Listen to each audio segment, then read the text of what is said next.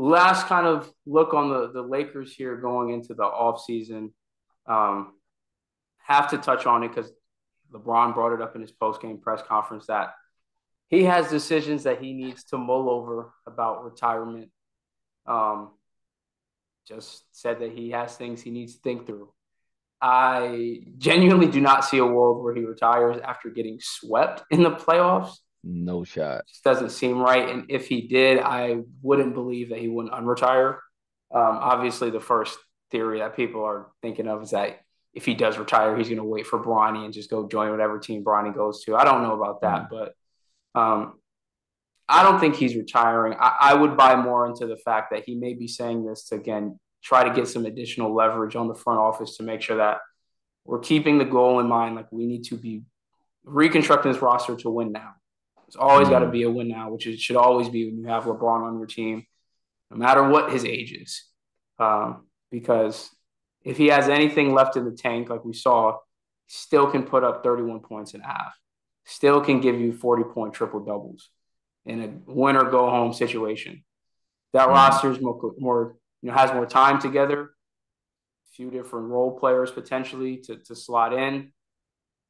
This could be a different series. So going into next year, they have a lot that they can can try to do in terms of um, retooling this roster. I think the only people that are under contract for them next year is uh, big name contracts at least. Obviously, is LeBron, um, AD is an extension candidate. Um, Vanderbilt is also going to be extension eligible for the whole season.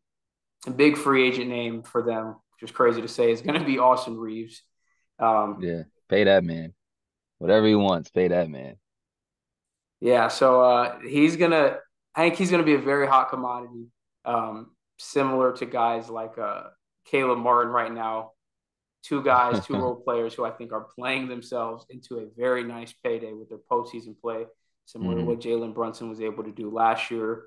So he's going to be, I'm sure, a very hotly contested free agent. But the Lakers, I would imagine, would love to have him back, um, and I think that would be a worthwhile move to make it move to make, even if they have to, you know, pay a little bit more than they would have liked to or planned on earlier, um, because we saw he was capable of shouldering some scoring load, capable of running, mm-hmm. you know, handling the ball in the pick and roll, um, and provided very, very quality minutes for them, turning into a starter in the postseason here um, for the Lakers. So that's going to be a key free agent for them to try to retain moving forward.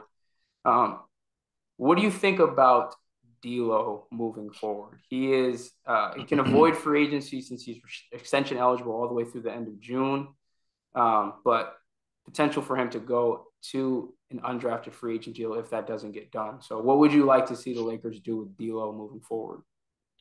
Um. So basically, uh, D'Lo's whole situation for me depends on what we do in the off season. As far as I, I like I said, talking about the LeBron retirement thing, I don't think he's retiring. I believe that it is the it, he's trying to have a little bit of leverage against the the front office so that they can make some sort of move. But hopefully, I feel like hopefully I want the Lakers to not panic because the last time we got bounced by the Suns, we kind of panicked and felt like, oh, we need to make a big move, and then we traded for Russell Westbrook, and then we saw how that worked out. So hopefully the Lakers don't panic. We just seen how the Nuggets kept their team together. They were patient. You know, they developed their guys, and you see where they are now. So, mm-hmm. um, I would love to sign Austin Reaves back, Rui Hachimura. I hope we sign both of them. I feel like we need to bring those guys back because they're both young. Like Austin Reaves is only going to get better. Rui should only get better. It's not like these guys are old and capped out. Like these guys, you develop these guys, they should only get better from here. But um, as far as D'Lo, uh, that one that one is a little tough because I don't know the money that he's going to be asking for. But if he's going to be unplayable in the playoffs, it's just it doesn't seem like it's going to be the right move to sign him to a big deal. Um, I, I think he can help in the regular season, especially with Anthony Davis being a little bit of injury prone LeBron James obviously being older. I don't see LeBron playing a lot of minutes. If he when he comes back this next season, I don't see him playing a lot of minutes. Hopefully he, he caps out around like 32 minutes a night in the regular season because I, I just feel like he needs to preserve himself for the playoffs. So in that aspect, I think D'Lo could be a valuable piece to have, help you win regular season games. So we're not so we're just staying afloat basically till the playoffs come. But yeah, man, with D'Lo, it's it's just tough. And the Lakers have also been linked to, you know, Kyrie Irving, I've seen that they're now linked to a Trae Young trade. So obviously, if we bring one of those guys, then D'Lo's gone. But Yeah. even then, I don't know if I even want a Kyrie or a Trae Young because that means probably getting rid of either Austin Reaves or Rui. Or if somehow you get Kyrie or Trae Young to take less money and you keep Reaves and Rui, that means the entire bench is going to be me, you, and some people from down the street. Right. Like, it's going to be nobody. So yeah. I don't know if I really like that. So if we don't get one of those big name guys, which I honestly I, I don't think I really want one of those big name guys for the money that they're going to be asking, I Mhm. wouldn't be opposed to bringing D'Lo back, but like I said, it's just tough, man. Like when the postseason comes around, it's hard to play a guy who's a negative on the defensive end because when he's not hitting shots, he's literally unplayable, like we've seen in this playoff series. So uh, it- it's tough. Hopefully, maybe he can. You bring him back, he can buy in a little bit on the defensive end.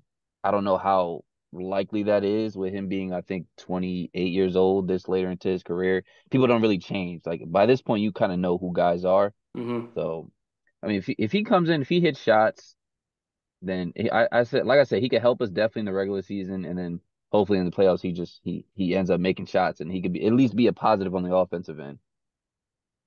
For sure. I uh I can see where the thought process to try to bring in a guy like Kyrie or like you said, the trade rumors for Trae Young because the Lakers, I think, could benefit from a closer, right? Like Hundred percent. going into next year, your closer is going to be a 39 year old LeBron, Austin Reaves, that's our closer. right? Or role players like that stepping up and him, you know, really trying to take another step up in his game. So I, I understand the thought process there. It's tough with the, you know, already having two huge contracts with LeBron and AD on the roster, trying to fit a third one in for a guy like Kyrie, like you said, that really is going to put them in a very tight space with the cap. And something I heard them talking about on Through the Wire, which is, I don't think I've ever thought about this way, but is really where the league is going. There aren't that many old vets that you can just sign for the minimum these days like there used to be. Like you think back Yeah. to a few years ago, there was a, a large amount of vets that you could bring in on veteran minimum deals who would ring chase, but That were good. right, and there aren't as many of those guys now, right? Like J.R. Smith is out the league, Carmelo just retired, which we'll touch on later. Um, you know, Yeah. Boogie is playing in Puerto Rico. Um, like the league has gotten more young to fill some of those role player spots, and a lot more teams are keeping younger guys to fill that void.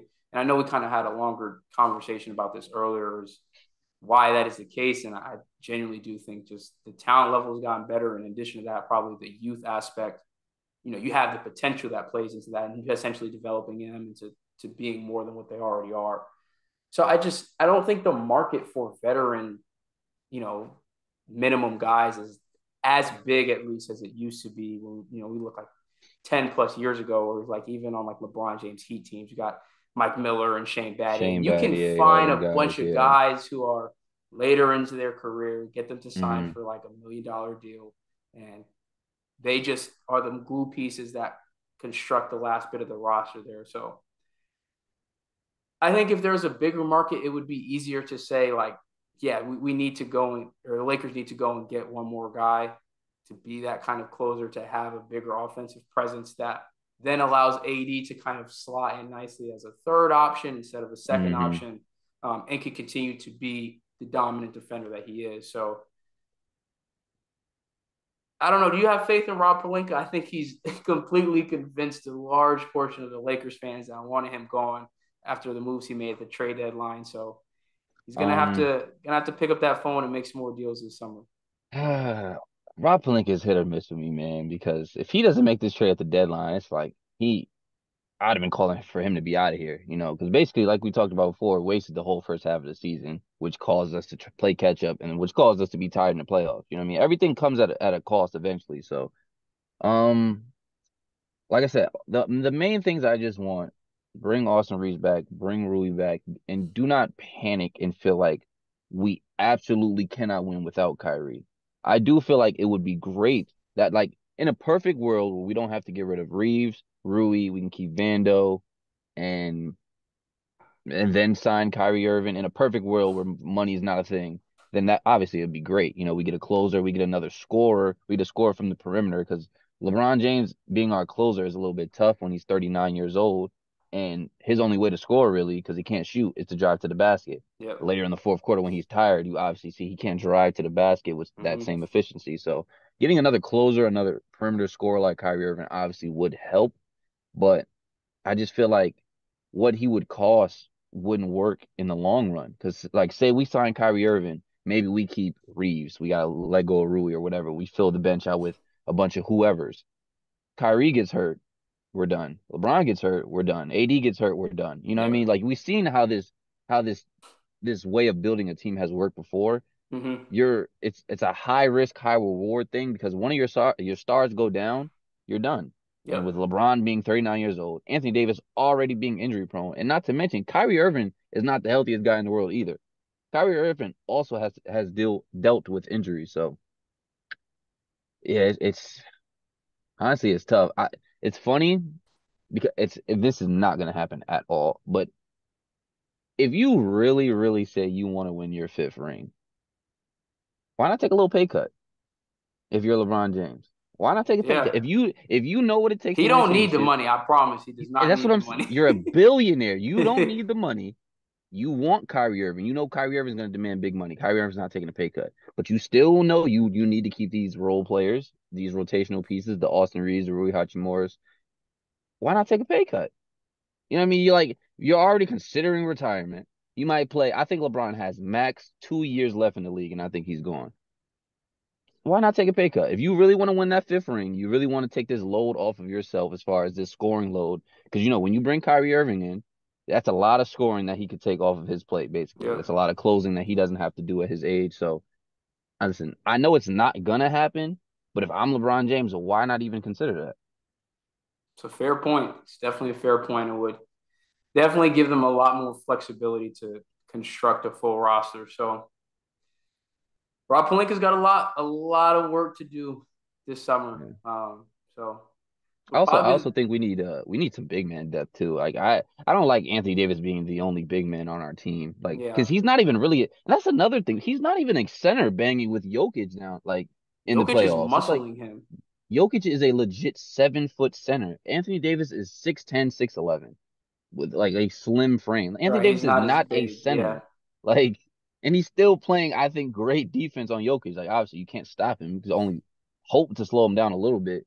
But we need a real center on the roster and real backup center depth because Anthony Davis already being hurt is bad enough. But now you're gonna make him play the five all year long, bang with the bigs, and then expect him to stay healthy. Like that's that's not gonna happen. So that's another thing that needs to happen this offseason. But uh, it, it's tough the way the money's looking right now. Yeah. So probably the last time we talk about the Lakers for a little while. So you want to give any any closing thoughts on this season, two and ten to the Western Conference Finals, floor is yours. Listen, man, we started two and ten. You know, the season was lost. I was done. I was ready to give up on this season come All Star break. Even when we made the trades, I was like, all right, we might win a couple games, but it is what it is. We start playing well. I start believing again. LeBron gets hurt. Then we start playing well without LeBron. Austin Reaves becomes a star. Listen, man, I, I love this Lakers team. I really do. Like this Lakers team, it was fun to watch this whole year. Well, no, the second half of the year. It was a fun team to watch. You know, we overachieved a lot, you know, two and ten to the Western Conference Finals. So it is what it is. We lost to the better team. Hopefully we just come back next year and we we come back strong, man. We beat the Warriors. The Clippers got eliminated. I'm I'm happy. I'm happy. As long as the Celtics lose, we good. I'm happy.